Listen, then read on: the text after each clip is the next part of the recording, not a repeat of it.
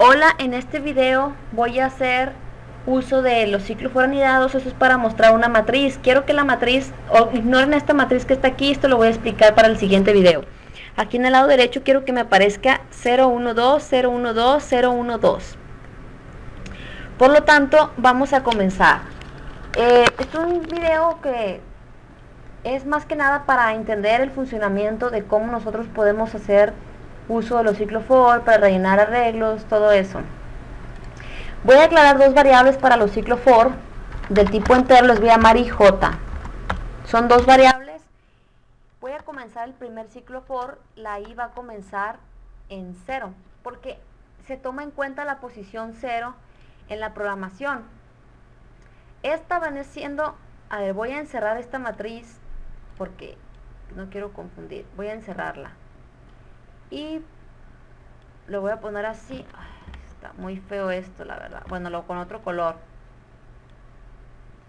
Solamente para hacer separación. Disculpen lo feo del dibujo ay no qué feo está.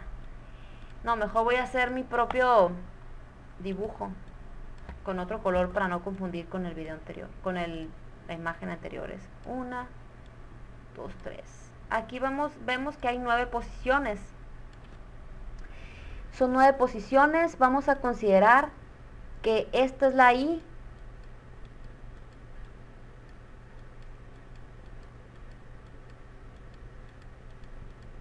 La I viene siendo la parte vertical y la J viene siendo la parte horizontal.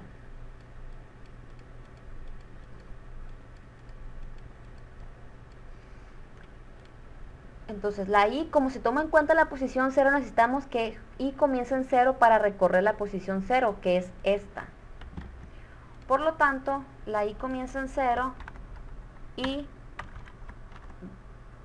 va a este ciclo va a finalizar cuando la i sea menor que 3, es decir, cuando valga 2, porque del 0 al 2 son 3 posiciones. Entonces, son 3 posiciones en i y 3 posiciones en j. Entonces necesito que finalice cuando i sea menor que 3.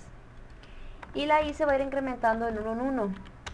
Abro la llave del for y la cierro y dentro de ese ciclo for va a haber otro ciclo for. J va a comenzar en 0, J va a finalizar cuando sea menor que 3 y J se va a incrementar de 1 en 1. Y va a ser el mismo caso, se va a repetir cada uno de los ciclos for tres veces. En el segundo ciclo for, como queremos que se rellene el arreglo así, 0, 1, 2 o qué tal si queremos que se rellene como 1, 2, 3, 1, 2, 3, 1, 2, 3. Bueno, vamos a, a poner aquí con el code que se imprima la variable j más 1. Bueno, le voy a dejar como j y quiero que vean la diferencia. Y observen lo que va a suceder.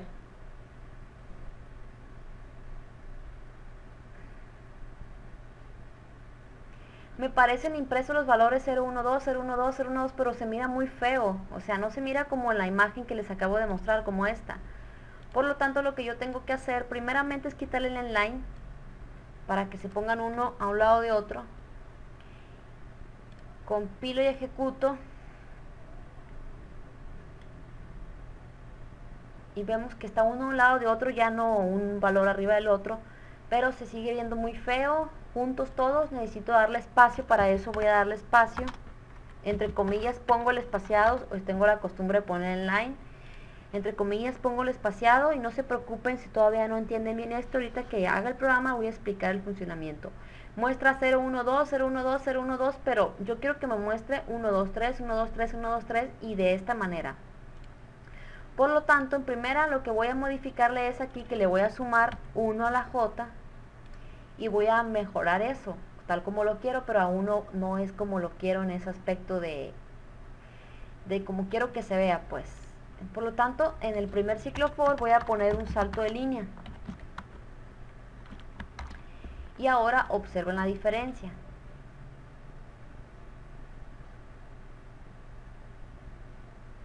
Uno, dos, tres, uno, dos, tres, uno, dos, tres, me aparece tal como lo quiero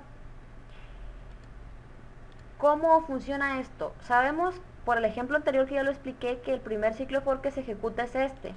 La i comienza en 0. Una vez que se ejecuta el primer ciclo for, este se va, es, me dice que va a haber un salto de línea, un salto de línea. Bueno, ignoren eso ahorita, se va a ejecutar el primer ciclo for y luego este ciclo for y la J va a comenzar en 0. Dice aquí que me va a imprimir el valor de J más 1, es decir, el valor de 0 más 1 me va a imprimir el valor de 1. Lo voy a, voy a hacer aquí un dibujito, el valor de 1.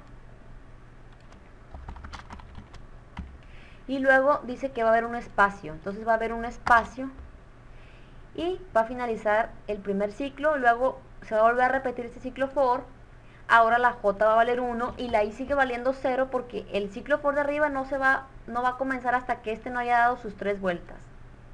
Por lo tanto, ahora J vale 1 y la I vale 0, entonces mm, dice aquí que captura el valor de J más 1, es decir, el valor de 1 más 1 que es 2.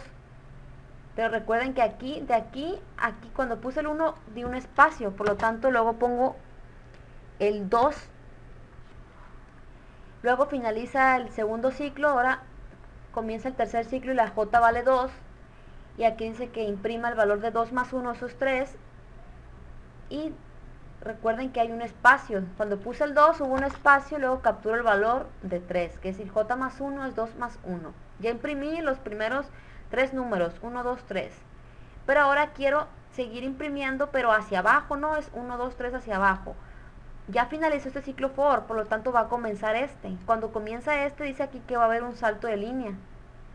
Entonces va a haber un salto de línea y se va a brincar para acá.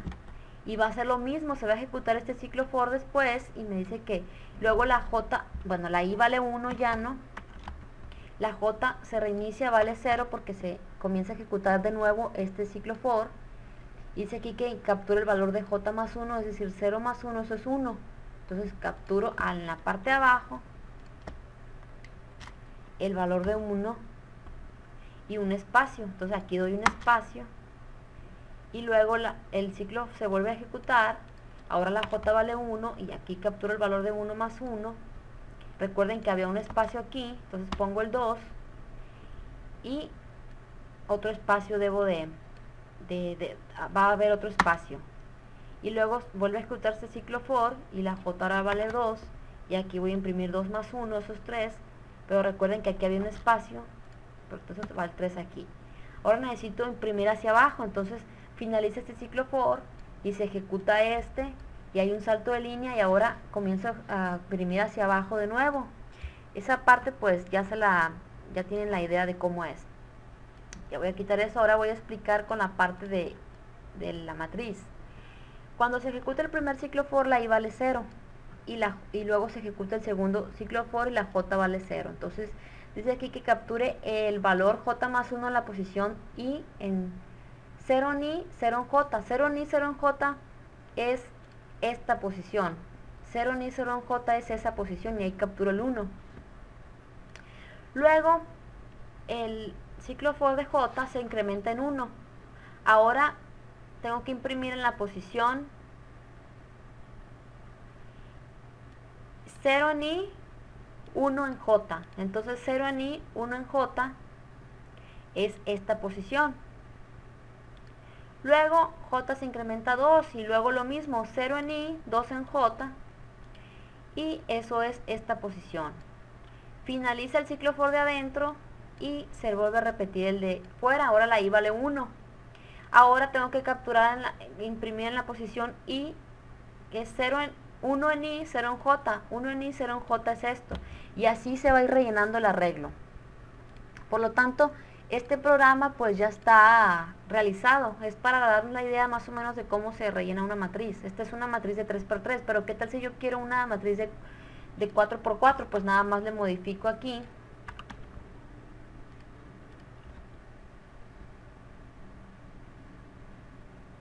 y va a haber cuatro valores. Y ya dependiendo del número que nosotros quieramos, si nosotros queremos una matriz de, de 2 por 4, es decir, dos columnas y cuatro, perdón, dos filas y cuatro columnas, esto queda de la siguiente manera, más que no está, ahí está. Son cuatro columnas, perdón, y dos filas. Y ya dependiendo cómo la quieran, pues ya le va modificando los valores. En el siguiente video voy a explicar cómo nosotros podemos rellenar, eligiendo nosotros cuáles valores vamos a rellenar en esta matriz de la imagen de la izquierda.